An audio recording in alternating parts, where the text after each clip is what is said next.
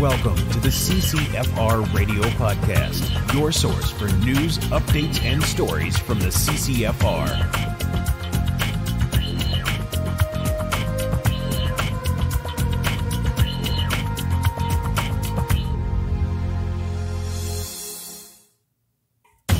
Hey, everybody, welcome to episode 144 of the CCFR Radio Podcast. I'm your host, Rod Giltaca. Thanks for joining me again today on the show.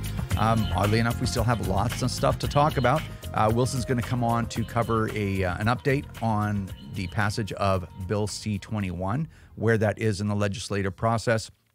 Uh, we're also going to have some insights to share on the uh, the win of the uh, United Conservative Party of Alberta in their general election, uh, provincial election. So we've got a, a few things to, to share with you on that. Of course, more bizarre behavior by politicians obsessed with taking your firearms. I don't think we're ever going to run out of material like that um, anytime soon. Uh, anyway, all that and more. Uh, we will get into it. But before we get started, I just want to thank the businesses out there in our community that support the CCFR radio podcast. Bullseye North stocks a wide variety of guns, ammo, optics, knives, and accessories from all the big brands and offers free shipping nationwide on orders over $200. Some conditions apply. Sign up for their weekly newsletter to get zeroed in on their weekly deals and live inventory. Bullseye North is your sports shooting superstore. A huge thank you goes out to our great friends over at the Saskatchewan Rivers chapter of Safari Club International. They do a lot of great work over there, including supporting the CCFR and the CCFR radio podcast. Check out all their great work at saskriversSCI.com. That's saskriversSCI.com. CTOMS has been a provider of trauma care training to military and police in Canada for nearly two decades. Now, this emergency medical training is being made available to a wider audience through CTOMS Academy online courses. This online training is valuable to anyone that pursues sporting or outdoor activities or finds value in being prepared for a crisis. Visit ctomsacademy.skillbuilder.co and use promo code CCFR30 for a 30% discount on all training. And thank you so much to our great friends over at Vortex Canada. They continue to support the CCFR podcast and the CCFR. Can't say enough about them. Check out all their great products at vortexcanada.net. That's vortexcanada.net. Vortex, the force of optics. Okay, we are back. So, a couple of housekeeping items to share with you, and uh, before I bring Tracy on, and actually a, a, an interesting story, funny story. It's political in nature, in case you were uh, in case you were wondering. Um, but anyway, so, first thing I want to mention is there'll be no podcast two weeks from now. It's going to be three weeks from now because I'm in Ottawa for the AGM and I got some other things to do while I'm in the neighborhood. So, I won't be back in time to do the podcast. So, it'll be bumped a week and then it'll be two weeks after that as normal. And while I'm on that topic, I might as well share with you that um, we're not going to do, we're act, I'm actually only going to do two TV shows, two television shows over the summer. So, one show for July and one show for August.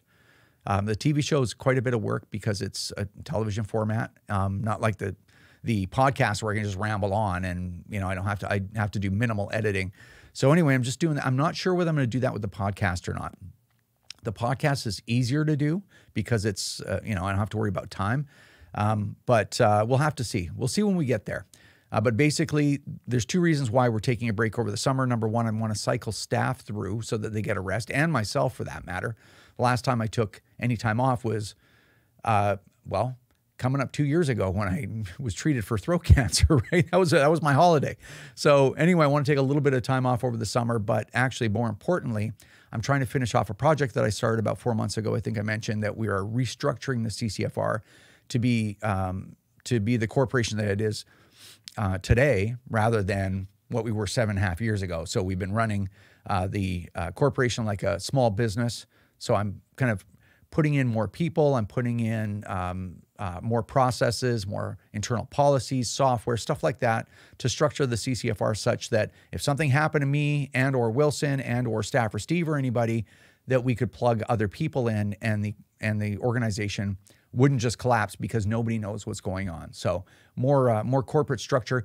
I tend to avoid that kind of stuff because it does create a little bit more overhead burden, right? Um, because yeah, you have to you have to input more information and document more things, right? And we've been extremely busy, uh, but uh, it's what's best for the CCFR, and it's a lot of work to do that. And of course, to make that decision to do that couldn't have come at a worse time because we have a maniacal government, including the the NDP and the Bloc, that are dead set against taking all guns away from from Canadians for some reason, right? So anyway, that's uh, that's going on this summer. It's going to give me a chance to get caught up with some rest and get caught up with the uh, the uh, project to restructure a bunch of things at the CCFR. Anyway, next thing. Um, so I guess all that to say, podcast in three weeks. We'll do another one in two weeks, and I don't know what's going to happen for the summer. I'll let you know in a, in a few weeks uh, when I get a little bit closer. I, I also want to make a mention of our friends over at the Cowichan Fish and Game Club on Vancouver Island. The last time I did a, a big thank you to all these clubs, I I left them out not by um, not by intention. Of course, it's just it's hard to keep every detail of everything straight when we're trying to do trade shows and and everything else and all the projects that the CCFR does and run the corporation and respond to everything the government does and it gets missed. So I just wanted to uh, shout out that uh, give a shout out to to our friends over there on the island for helping us out. They've sent us a couple of donations and I can't tell you how much we appreciate their help and the help of everyone that supports the CCFR because all this stuff that I've been babbling about just wouldn't even exist, right? We would either be a Facebook group where somebody shows up on Twitter and slings some mud and then they're gone, right? Um, we can't do the things that we do uh, like we have been without supportive people, and the community is supporting us. So, again, I can't thank you all enough for that. Uh, next thing, AGM. Annual general meeting tickets are closing. I don't know when. It might be in a few days or something, but it'll be we. I think a week before the AGM, we have to give the hotel and uh, and some other um, places the final count. So that means we're closing admission. So I printed this thing out to talk about it, but I printed out too small. Just so you know, I'm going to put. I went to go look for how to how to uh, register for the AGM, and it was a bit to find it. I had to actually go on our website to the web story, scroll all the way to the bottom to be like register here, and it's a small little hyperlink. I don't know if I'm missing something else, but I didn't notice that earlier. I would have had it right at the top of the website. Maybe it is, and I missed it. But nonetheless, I'm going to put the link for the AGM in the description box below in this video so you can go there and check it out. But basically, we have the full weekend pass for couples, we have the full weekend pass for individuals, right? That's 185 bucks, and that includes the Friday night rock party, I guess uh, Wilson is calling it. Uh, all the Saturday seminars with uh, Ian Runkle and uh, Andrew Lawton from True North, and they Ask Me Anything. So in person, Tracy and I will will sit in a room full of people and answer any of your questions. Well, obviously reasonable ones, but you know this is not it's not filtered. And uh, so, really important. You got that. And of course, the big dinner with a comedian and a photo booth and everything. We're all going to be there. It's going to be awesome. Um, and something this big, I'm not sure it'll happen again because, you know, it gets times are strange, right? But for people that are local, if you want to just come to the Saturday seminars, there's a price for that, 60 bucks. If you want to come to the Friday night rock party only, just come to the Friday night if you're local. Check out the band. I'm going to do, be doing a, a, set, the first set with the band, and then they're just going to play, and I'm going to just have fun for the rest of the night. You can do that. It's 25 bucks to get in there. So all the proceeds go to obviously to pay for the event, and uh, anything more goes to the CCFR. So it's a good cause. Same thing with the seminars. And if you just want to come for dinner, it's $100, and that includes all of your your uh, full buffet dinner and the comedian and the photo booth and all the rest of that stuff. Okay. So I'm going to put a link in the description box for that stuff. If you're local, come on down, choose one of the nights to come uh, down and hang out with us, and we will hopefully see you there. Also, I also want to make uh, make a mention of Wolverine Days is coming up. I don't have the date, I don't have that information with me, but you can go to Wolverine Supplies website. I think it's wolverinesupplies.com or .ca if I'm not mistaken by memory. They're having their Wolverine Days event, and it's pretty awesome. It's outside of Virden, Manitoba. So if you're in the area, make sure you go check them out. They're raising money as well, and we're going to be the beneficiary of that. So I really appreciate um, all the help that we've always gotten from Wolverine Supplies. I, like I said, there's just an, another example of the community helping us go to battle for the community. And it just doesn't happen unless we're all working with each other, right? So, anyway, just can't say enough about the help we've gotten from Wolverine Supplies. Okay, so my little story, and then we'll cut over to to Wilson. So th- this is this is pretty interesting. So I was doing the TV show, and I have to do like an opening monologue kind of intro thing, right? Where I have my own content, and then I bring Tracy on and or a guest. And I had on my list because I keep a running list throughout the two week period so that I'm not in a big panic when it comes time to do the TV show and or the podcast. So every time I have an idea, write it down. And then when I get there, it's just like, oh, there's my list. Well, I had written down that I wanted to talk about a um, um, a tweet that our friends over at PolySeSouvient made, and it was about I think it was IPSC or IDPA. I can't remember which one. And basically, how you know shooting sports are, are, are training for murderers. Basically, I guess is the idea. You know, I'm paraphrasing, of course. And um, you know, I thought, well, just you know, how how ridiculous. I mean, you know, um, driving a sports car isn't training for you know the Indy or F1, right? Like it's just people do what they do, and there's a there's a really there's a really stark difference between shooting sports and murdering people, right? And reality has borne it out that there is no real connection. Do bad things happen? Yeah, they happen with rental vans, they happen with knives, they happen with guns. If there's a violence problem, you deal with the violence problem. So anyway, not telling you all something you don't know. So anyway, I go into their their crazy feed. I start looking down and I'm like, oh man, I miss so much in their feed, right? Because I don't keep that close an eye on them. And you know, there's all kinds of crazy stuff in there. And I ended up I found the the the the tweet, but before that I ran into this one that I want to tell you about. And I'm like, this is actually more interesting than the than the other one. And basically it's it's just how the level of disdain that the people over at PolySeSouvient have for hunters. Because usually, you know, you'll see them the minute that the hunting community starts getting angry at them or, you know, they start riling them up, usually they'll pull back. They're like, oh, no, no, it's all, you know, we're all good with hunters. Oh, we're all good with indigenous hunters. They don't want too many people standing up at the same time or they'll be defeated politically, right? So they, just like the liberal government and the NDP and the bloc, they want to cut you down into little segments, you know, destroy one, you know, go, go after the airsofters, get them out of the way. Um, you know, go after the handgun owners, go after just the the black rifle people, go after the target shooters, go after the collectors, you know, and then we'll tackle the hunters later, right? Because they're too big of a group. But when we all stand together, it's like, well, airsoft gets saved. We all stand together, it's like, oh, a bunch of long guns got saved, you know, and hunters got left alone. So that's how it works. When we all stand together, we're a larger political force, and they they know that that's a that's not a winner for them. So anyway, but unfortunately, the mask slips with them um, from time to time, as you well know. And then they say something completely ridiculous, and especially with hunters. All right, so PolySeSouvient on their Twitter feed here, they they've they found some letters to the editor at the Globe and Mail, and they just think they're great. They just they obviously they agree with this. It echoes exactly the way they see the world. So here they are, great at Globe and Mail letters. Martin Pick writes, hunters can ask for rifles for hunting big game. So, hey, all you hunters, you can come with hat in hand and you can ask for these things from the government. Doesn't mean that you'll get them, but you can ask, you little commoners. Game birds are hunted with shotguns with a range of 200 meters. So, you may be able to be justified in having shotguns. But wait, it gets better. So, there's some stuff about uh, assault weapons not being good for anything, so ban them and buy them back or whatever, right? But get this I'm going to read this for you. Luke Maston from Toronto, by the way, writes The Liberals and the majority of the country want to ban assault style firearms that are regularly used in crimes and murders. So, as you well know, sorry to stop in the middle, as you well know, that's completely false. Absolutely untrue in every way, but it is not unusual for people that know nothing about guns. It's like one of those topics where the people that are the most convinced that they have the right answer are the people that know the absolute least about the topic at hand. It's it's becoming something is just really a, a feature of Canadian life these days. But anyway, I can I will continue. But they don't want to upset the small but very vocal hunting community. It's not small, bud. Some of whom, for some reason, right, you know, who could even understand, for some reason, feel the need to use such lethal weapons to kill animals and birds. Can I point out that for the vast majority of these hunters, this is just a hobby. Like it's nothing, right? Like marathon running or sports betting or bowling.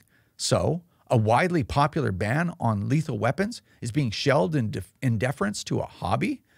Can these people not be persuaded, these misguided people obviously, to take up a less violent hobby, say mahjong or even paintball, if they really need to shoot something? Luke Maston from Toronto. Well, who would have guessed? So it, you know, it's just I, I the reason why I find this so interesting is the PolySeSouvient, they have such a just a, a, a seething, deep rooted disdain for for anyone that doesn't think like them, for anyone that would disagree with them, like for hunters or any of us, of course, right? Just the fact that we're resisting all of this stuff is absolutely outrageous to them. Anyway, I thought it was interesting. Okay, we're going to bring uh, Tracy Wilson on and then I'll talk to you guys uh, at the end. All right, we are back and we've got uh, Tracy Wilson of the CCFR here via Skype. Wilson! It says it right on my shirt. Wilson. Yeah, I was just reading it. That's all I was doing. Yeah. Yes, yes, that's me. all right. We got a lot of really um, some interesting news and a couple of funny stories to share with everybody, so we might as well get started. Yeah. I think the biggest news right now is uh, Alberta has elected a majority government, and it just so happens it's the UCP. So, uh, probably That's collective right. sigh of relief from many in Alberta, but uh, why don't we just kick that around a little bit? Yeah, that's right. So Danielle Smith roared to a win with a majority uh, mandate with the United Conservative uh, Party of Alberta. And this is interesting because all the pollsters kind of had it wrong. They were talking about it being an NDP Notley win and, you know, it's too close to tell. And even watching the results roll in, when it was fairly obvious that Danielle Smith had indeed won a majority, they were so reluctant to actually announce it. It was like it was paining them to say it but in the end uh yeah she knocked it out of the park they they did lose i think about 10 or 11 seats uh, to the ndp um, but they still came out of it with a full majority mandate which is exactly what they needed Yeah, it's just it's just interesting. I mean, in, in the in the larger cities, you still you saw some ridings flip over to NDP. Yeah. and I mean it's amazing to me. I don't want to get too far away from firearms, right? Because we put a we put a, a, a pretty significant effort into you know staying in our wheelhouse. But it's just amazing to me how people uh, how people vote. It Yeah. just it is because you know when conservatives are in power, typically typically Canada's safer, public safety is improved, the economy is more stable, the government stays out of your life. Uh, certainly a lot more than the government's in our life right now. I don't know why people. I don't know. It's just, it's just really weird. Well, in in uh, Alberta's a, a good case study because, of course, you know eh, there's a lot of rural rural areas in Alberta, but even those seats that the NDP were able to steal back were in the big cities, right? Primarily, and primarily Calgary. And in particular, you look at um, former, well, I guess he's former now, Minister of Justice uh, Tyler Shandro, responsible for the Alberta Firearms Act, um, appointed uh, Teri Bryant, you know, a good a good defender and uh, champion for firearms owners. He lost his riding by seven votes. And you and I were talking about this offline. If you break that down, you know, we've both got spouses and adult children. If my house and your house and maybe even just half of our adult children didn't go out and vote, that would have been the difference. Seven votes. Like a minivan full of people could have changed the outcome of that riding in particular. And those ridings around Calgary or in Calgary that flipped to the NDP, all of those combined, it was only 218 votes that gave all those ridings to the to the NDP. So when you think that your vote or you know I'm tired I had a long day I don't feel like going to vote if you think your vote doesn't matter you couldn't be more wrong and this is a perfect example of that.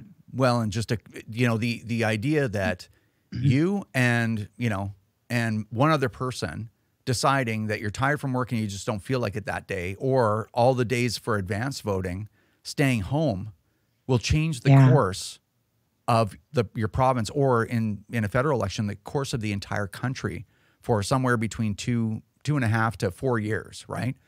So I think yeah, well that's a big deal. yeah, like when you have that one chance, that one chance every two and a half to four years, you drop everything, take the day off if you need to, and go stand in line for 20 minutes and cast your vote. Go call everybody you know, every relative or everybody that you know, like friend of, that you know. Go to their house, pick them up, drive them. Just go, hey man, I'm picking you up. I'll be there in 15 minutes. You're gonna stand in line for 20 minutes, and I'm gonna take you right home, you know, or whatever. We'll go out for dinner after, or whatever. You you drop everything and you vote because Vote. that that one that one day you have to make something else a priority will change the course of your entire future and and most importantly the future of the you know generations that come after because I'll tell you uh, you know no matter what happens in Canada um, um, obviously excluding a, a total collapse of society I'm going to be fine, right? I'm already old. It's Yeah. it's my kids and your kids out there that are going to pay the price for all of this tomfoolery. So you just we we keep harping on it, but it's so important. Like don't ever sit back and go, "Yeah, I didn't vote. It didn't matter anyway cuz the liberals won again." It's like, "No, they won again cuz you didn't go vote." Yeah. Anyway, pretty crazy. All right. Um, so congratulations to the uh, Alberta UCP. Good win. Yes. Big win. Yeah. And so things, uh, you can breathe a, a sigh of relief, as I mentioned, uh, that, you know, you don't have uh, Rachel Notley and the NDP running your province for the next four years, running it basically right into the ground. But uh, Right. I will say one more thing before we move move uh, move along, is what a, what a nasty campaign. Oh my God. It was vicious. Yeah. I mean, Yeah. we've you and I have witnessed the total descent, you know, the, the bottoming out of politics in Canada over the last seven and a half Yeah. years. It's it's quite discouraging because once you lower the bar, everyone else has to go under that bar too to compete with you. And Yeah. just yeah, it's never been like this as far as you know, as far as I remember, and I've been alive, you know, fifty some odd years, right? So Yeah. it's uh, it's too bad, but anyway, at least the right people won this time around. All right, let's move on. Um, a C- update on C21. Where are we at? Yeah, so C21 is now with the Senate. Um, as of the day of recording, uh, the Senate was going to do second reading. So this is a part of the bill where they will do some debate. Um, they will probably send it over to the Standing Committee on Public Safety and National Defense, and the committee will study it. Hopefully, they're going to hear from witnesses. You know, we'll have to see how it all plays out. But the timelines here are pretty tight. As you know, the federal the in, in the House of Commons, the Liberals have moved time allocation and closure motions and everything else to try and ram this thing through. You know, after after making a complete mess of it, um, but the House rises June 23rd. The Senate does sit for a week longer, so June 30th, but then they rise for the summer and they're gone until September. So I don't know that there's enough time to get C21 dealt with, but we'll just have to to play it out and see where we're at. But yeah, yeah, it's with the Senate. Yeah. All right. Well, it's making its way through the process. Yeah. Um, you know, I, for one, would be really happy if we could get a little bit of a break over the summer because I was talking to I a feel like you just jinxed us. yeah, oh, oh, no. Knock on wood no. or something. I don't know how it could get any worse. So I think I'm pretty No. safe. Um, I was just talking to a friend of mine I hadn't talked to in about five months, six months um, last night because I was in gridlock. And he's like, you know, how's work going? You know, and I'm like, is that a joke? you know, like, uh, what do you mean, how's it going? You know, it's it's just been never. I think we already might have talked about this on another podcast, but it's just never been like this. Not with Bill C seventy one. Um, not with anything else we've ever done where it's just been just rapid fire, endless, like, oh, they just held another presser. Oh, there's an OIC coming. Oh, there's new Oh, amendments. yeah. Oh, they've withdrawn these amendments. Oh, there's new ones. Oh, now they're going to strike a committee. Oh, they've held another press conference just to beat up on gun owners and, you know, try to manipulate the public. It just, it's, you know, it's just endless with these guys. So, anyway, Yeah. hopefully they, uh, they just take a break over the summer, which would be great because I got a lot of catching up to do with other stuff, projects at the CCFR and other things to do, man. Yeah, me too. Yeah, we've been running pillar to post for a long time. All right. Now, Okay. a little bit of fun. So, well, it's not fun. The first part isn't fun because you uh, need to be held accountable for something, and it's um, Oh. it's to do with online attacks. So, uh, there is a sitting Liberal MP, Adam Van Van Co- Coverden. Van Cover Vernon. Coverden, I think. Yeah, whatever. Adam. I could be butchering it. Uh, Big Adam, he has leveled a very serious accusation of um, of a on, an online attack that we, the CCFR, has perpetrated against him. And when I say we, it's it's you via Twitter. Oh, me. And the A mean tweet? well, it's a he's claimed that it's a serious attack. We're going to have a look at that. Um, Okay. And he's being attacked uh, for no other reason other than standing up uh, for public safety and for reasonable gun laws. So I think that you deserve an opportunity for us to kind of talk about the attack, and you deserve an opportunity to be accountable for it. So why don't Okay. we play the clip first so you can hear from his side um, about the attack, and then you'll have an opportunity to speak to it after. Okay. Mr. Speaker, the, the gun lobby is, is simultaneously attacking members of parliament like me on social media for standing up for public safety and responsible gun laws and retweeting conservative MPs and the leader of the Conservative Party. So it seems to me now that similar to the United States, the Canadian gun lobby and the Conservative Party in Canada are one and the same. They're clearly bed buddies, Mr. Speaker. Okay, so now is your um, your opportunity, Ms. Wilson, to to tell your side of the story, uh, to justify your actions or be held accountable uh, accountable for it uh, in some way. Go ahead. Oh, I'll show you exactly what went on. So this was during C21 debate in third reading in the House of Commons, and Adam Van Koeverden was speaking to C21, and he said that to prevent suicide, Canadians need a phone beside their beds, not a gun. So I tweeted him. Yeah. Okay. Liberal at Van Kayak. This is me talking. Says to prevent suicide, Canadians need a phone beside their beds, not a gun. I put a little arrow and I said, This is the same government that can't manage to implement 988 suicide line years later. Another little arrow for a new point guns account for between 13 to 16% of all suicides.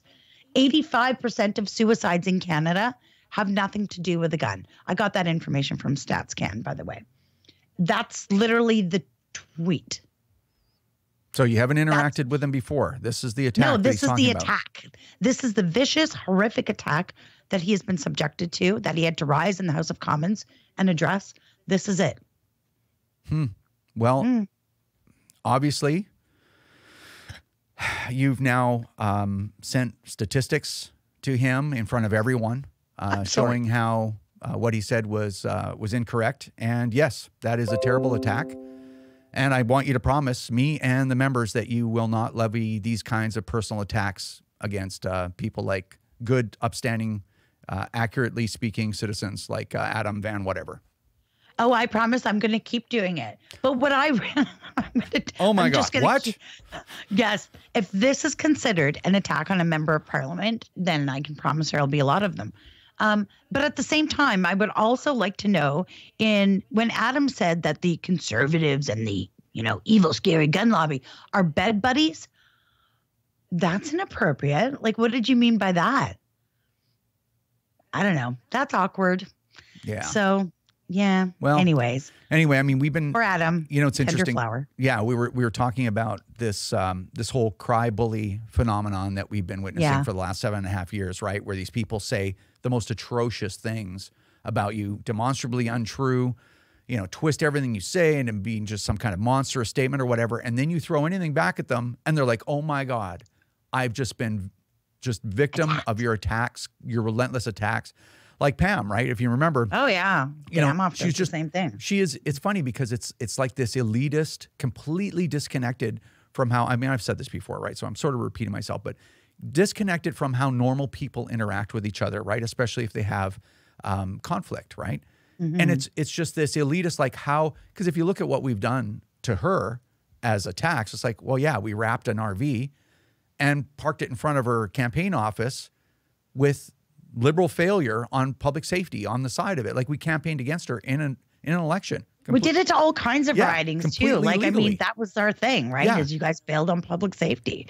Well, like it's the it's the it's the idea that we campaigned against her, yeah. and we opposed her in a in a federal election, right? And these people yeah. can't even get their heads around the fact that you, uh, some commoner, you know, out of the field would would oppose them when they're trying to do something for themselves.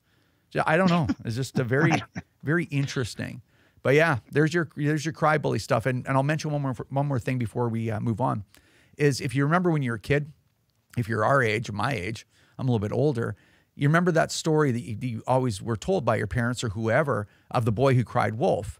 Yeah. And th- that story is meant to be like, listen, if you're not a victim or you don't need help or you whatever, you don't ever do that because if you do need help, if you actually are a victim, you've destroyed everyone's you've destroyed your credibility no one you know mm-hmm. no one's mm-hmm. going to come to your rescue and nobody's going to believe you if you ever really needed it it was it was a tale of here's how not to be a crappy person and yeah. this is what i see constantly this is what you see constantly from these people it's like i'm a oh, victim yeah. i've been attacked these relentless attacks. It's just, yeah, nobody's attacking you, bud. They say it all the time, and it's you know the problem is, and then people are like, "Oh, you're the the bad gun lobby," and I'm like, I want a crisis line for people who need help, and I want to talk about saving, eh, you know, all kinds of suicides, right? Like, yeah, we're not the same. Yeah, well, and and not to beat it to death, but if you even just look at what he said, Canadians need a, a phone by their by their bed other than the gun. Like Canadians Yeah, don't do that. That's not actually a thing in Canada. And the reason he's saying that is he wants the the dum dums out there to be like, oh my God, if you're a gun owner, do you have a gun beside your bed in case you get depressed and you want to end your life? Like Yeah. how what a what a horrible, ridiculous, completely upside down world thing to say. And then he's like, oh, and the CPC and the gun lobby are one and the same. They're bed buddies Bed Like- buddies. you know, like everything he said was ridiculous, but yet Yeah. he's the one being attacked. It's just interesting. It's uh, we're at a strange place in Canadian history. All right. Anyway, we've talked about enough of this completely ineffective uh, MP that uh, that where I'm wondering who would even vote for a man like this. I'm just not even sure what that person is like. But uh, nonetheless, it it happened, uh, and it has to change in the next election. By the way. Yep. All right. Uh, National Range Day. You're, uh, we've got an interesting story about this. So you're holding a little event. Why don't you do like a minute on your event, and then we'll we'll come back and uh, and we'll talk about why we're actually brought this up. It's kind of interesting. So the idea behind National Range Day is it's a day to celebrate the 2.3 million people that make up our community and to open our doors to the public. So folks who maybe otherwise wouldn't have the opportunity can come out and try the shooting sports. And I host a great big crazy event here in Ottawa. It's a lot of fun. I've got bouncy castles and bouncy slides, a kids range, a barbecue, cotton candy, like the whole 9 yards, right? And this is our second annual event. I'm holding it at EOS EOSC. And National Range Day uh, was developed and is always held on the first Saturday in June every year. So that is this upcoming Saturday. Yeah. Yeah. So and it's a day to because we get nothing but vilified by the by the sitting government. Yeah. and it's a day for us to have of our of our own to recognize that there are people that legally own and use firearms in Canada that are not a danger to the to the public and for people to come in and understand why Canadians still own guns here now over 150 years after Confederation and why it's more more important than it's ever been right? And that's and, and why we're trying to preserve it.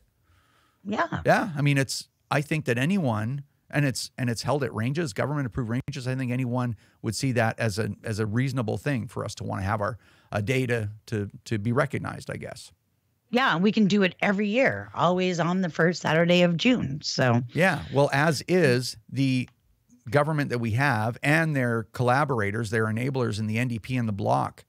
Um, they're they're so prone to infantile behavior. We've seen that for seven and a half years straight, un, unrelenting. Um, they decided that they would do something this year that probably tops their ridiculousness. Uh, why don't you tell us about it? Yeah, well, they've got this like royal proclamation. Um, they made it through an order in council, no I see. And it comes down uh, from on high from Mary Simon, Governor General. And it is a national day against gun violence. And of course, it will fall on the first Friday in June every year. So, henceforth, from this day onwards, the first Friday in June will be National Day Against Gun Violence, and the first Saturday in June will be National Range Day. Now, I think this is meant to be some sort of, uh, you know, a troll or gotcha by the Liberal government. I mean, there's 364 other days they could have chose from to honor that day or to to um, make note of it, but it's not the gotcha they think it is because we are also against gun violence. Like I will, I will happily observe that because I am also for a peaceful, safer community, and I am against gun violence. Well, just So- how just how ridiculous, like how childish, right? And then they'll be like, "Oh my god!" I mean, we that's not what that's not the reason it was on that day. It's like, well, what? Like one in three hundred oh, sixty-four chance that you and you didn't know that it was National Range Day. It's like we never did it before or didn't tell anybody about it, right? There was a hundred events last year in its very first year. There's pro- Yeah. probably well over a hundred this year. Oh yeah, Anyway, just just what a bunch of ridiculous people You know, it's it's they've really made a mockery out of government. But you know what? I want to do one more thing because I haven't looked at a royal proclamation here in Canada. I don't think ever before, and I just, you know, I just think that it's just the language is just really interesting to me. Um, so mm-hmm. anyway, I'm going to put it up on screen here. Uh, this is from Charles III, right? This proclamation via yeah, his King Governor Charles. General Charles III, by the grace of God and the United Kingdom, Canada, and his other realms and territories. And he's the defender of the faith, by the way. But this language is really interesting. And just before this uh, section called, you know, that's the witness, right, which is the Governor General, it says, of all which our loving subjects, that's you, commoners, by the way, in case you weren't sure who they're talking about. It's you that have, you know, come scrawling in from the fields to, to, to listen to the proclamation. Uh, all our loving subjects and all others whom these presents, these gifts may concern, are required to take notice and govern yourselves accordingly. Govern people. yourself accordingly, yeah, yeah. peasant. And then even when yeah. they talk, and, and, they always talk about themselves in this the greatest possible way. It drives me kind of kind of batty. So the witness, our right trusty, so obviously trustworthy and well beloved. They're telling me that I beloved Mary May Simon. She's really got a great um, a super great, trusty. Yeah, she's got a really great uh, wardrobe I hear, by the way. Yeah. And then all of these earned titles, right? Like the uh, like the uh, commander of our Order of Military Merit and all the rest of that stuff. Oh yeah. And so I just I, I just find that language. You know, I I found myself wondering like, are we still doing this? Are we still the the loving subjects of Prince Charles? I mean, if you've heard of Prince Charles before and looked King at the royal family, like what a mess. And then I'm yeah. I don't know. I, I I guess. Well, and here's the funniest thing too is like I said, I am also against gun violence, and if we want to have a day to say we are against it, that's fine. But let me get this straight. We've got a 32% increase in violent crime across the country, random violence happening everywhere, a 92% increase in gang homicide. So this is a problem. Like it's, you know, it's unsafe. So what do they do? A royal proclamation that they are against it. Like, could you do less? Could you do any less to actually solve the problem other than your royal proclamation? Right? You're, you're, you're implying that that's not enough. You know what you are, that's Tracy? probably an attack. You're what they call in the royalty. You're a rabble rouser, R- rousing up all the rabble, right? All the unwashed yes. masses. I don't know, man. I am. I'll wear that. I don't know just the language I oh, found oh, was really. I'm like, ah, yeah, I never thought of myself as this dirty commoner, you know, scratching a living off of, you know, uh, off the dirt and then coming into, coming uh, ushered into hither the uh, the instructions on high on what day I should be thinking about what they think I should be thinking about. And govern yourself accordingly, yeah. peasant. Anyway, whatever, man. Whatever. You know, uh, I guess all the things that we're asking for are just just beyond this government, which is why don't you act like adults, the most responsible adults that you know in the country that's what you're supposed to be when you're governing a G7 nation and you know just you're supposed to be better than everybody else not the absolute worst that society can conjure so anyway it just uh, yeah. it's quite it's, it's interesting anyway sure hopefully you uh, found that um, outrageously amusing and we thought we'd bring that to you but uh, I think that's all we have on our list so I appreciate the update and I guess we'll uh, we'll talk again soon all right we'll see you next time all right, that's going to do it for episode 144 of the CCFR Radio podcast. Uh, a couple of things I want to go over with you before I let you go. Um, as I mentioned, no episode in two weeks. It's going to be three weeks from now, and we'll talk more about what we're going to do for the summer uh, at that point. Also, once again, last chance for AGM tickets. If you're local, get a ticket for a single event. If you're interested in just a, just that event, again, there'll be a, a, um, link to the registration page in the description box below. We're shutting off tickets. I don't know when. Like I said, I think we have to provide that count a week in advance. So might only might even be a few days. So uh, if you can get in there and you can um, register for uh, one of the events, go ahead and do it right away. And hopefully we will see you there. It's uh, it's going to be a really good time. And last but not least. Um, CCFR Insiders, if you've heard of the CCFR Insiders group, that's a group that if you donate on a recurring donation, if you go over to the website, you can find that recurring donation thing. $20 or more per month, then you can be part of the CCFR Insiders Group, which gets you into a meeting once a month with Tracy Wilson and I, where you can be part of the discussion. You can ask us questions, why we do certain things, why we don't do certain things, um, that kind of thing. Give us ideas, bounce stuff off us, whatever. Uh, and those meetings are about um, an, hour to an hour and a half each. And there's pro- we make a couple of prize draws as well. So kind of a cool group to be inside and really not that expensive to get in. Anyway, CCFR Insiders, check that out. Uh, if you want to become a member of the CCFR and support what we're doing, I'd really appreciate it. Uh, if you want to donate, I appreciate that too. You can do all of that at ccfr.ca or firearmrights.ca. Thanks, everyone. Take care, and we'll see you next time.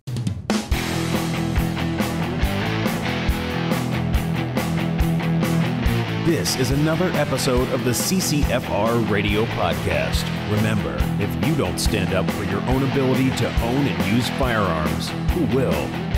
Join the CCFR or donate right now at www.firearmrights.ca.